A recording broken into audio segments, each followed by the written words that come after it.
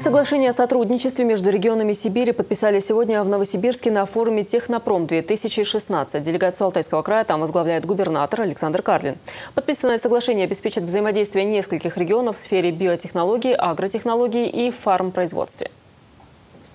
Задача заключается в том, чтобы выстроить это взаимодействие на э, более современном уровне, чтобы мы э, эм, координировались и э, в своих программах э, научных разработок, и в работе по апробации научных разработок. Самое главное, по их внедрению.